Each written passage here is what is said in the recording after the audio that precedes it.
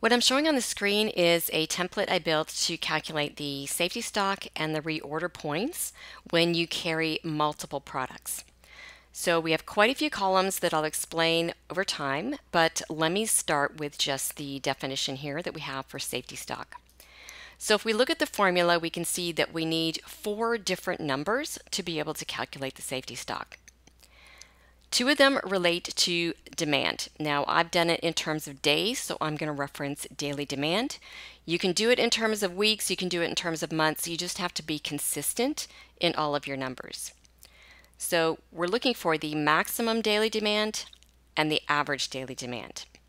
And I will show you later on two different ways to calculate these numbers. One will be based on historical sales and one will be based on a forecasted demand.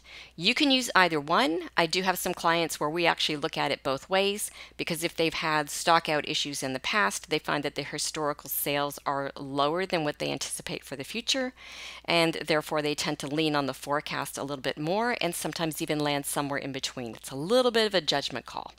So the other two numbers that we need for the safety stock are related to the lead time. So the lead time is the time between when you place an order with a supplier and when that inventory that you've ordered actually arrives at your location. So whether that's your own warehouse, your own factory, but essentially, you know, where you store your main amount of inventory.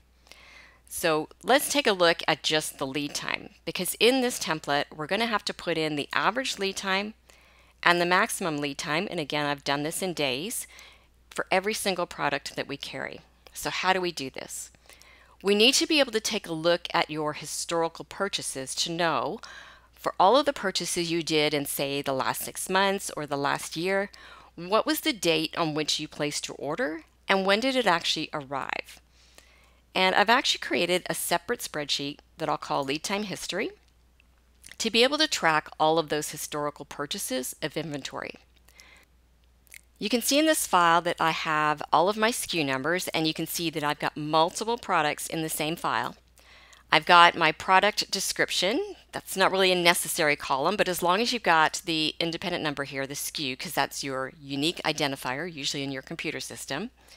And maybe you're tracking the purchase order when you export your data. But the important part here, so with this tracks the date on which you placed this order and the date on which you received the inventory into your facility. So whether that's your warehouse, your own factory, you know, you could be working out of your garage, it's okay. Wherever you currently keep your inventory.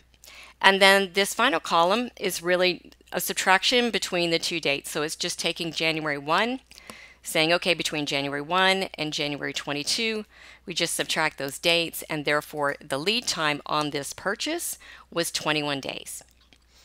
So if we now go to our next product, same thing. So we placed an order, say on January 3. It arrived at our facility on January 26, and therefore the lead time was actually 23 days.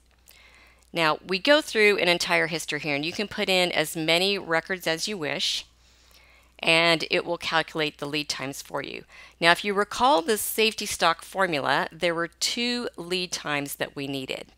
For every product that we have, we needed the average lead time and we needed the maximum lead time. So these are just pivot tables in Excel where we point to all of our data here and we ask it to roll up our data in a pivot table and display for us each of the products. So this one is, is by SKU, this one is by product description. It's exactly the same. I'm just putting in both here to see, you know, you can use whichever one is more convenient for you. And then for each of those products, we're asking the pivot table to show us the average lead time. And I'll show you the pivot table options here if you're not familiar with that. So you can see I'm grabbing the lead time column and I'm telling it display the average of that number. And then I'm grabbing that exact same column again and saying, you know, instead of the average, this time I want you to display the maximum.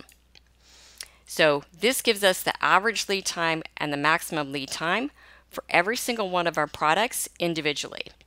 Now, how to use this template. So you would replace all of this data with your own purchases and you know try to keep the same column structure here. If you don't want to track purchase order numbers that's fine. If you don't want to track you know the product names that's fine. You can just leave these columns blank. Uh, but definitely the important part would be to have that unique identifier which is your SKU or your item number and to have you know the start and end dates so it can do a calculation for you on actual lead times.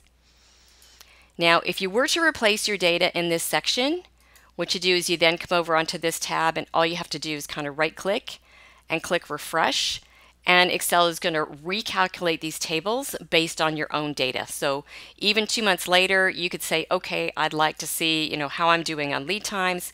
You could put in a fresh set of data or you could append more records to the bottom of this. Just click over to this tab, right click, and hit refresh. So this now gives us our average lead time and our max lead time.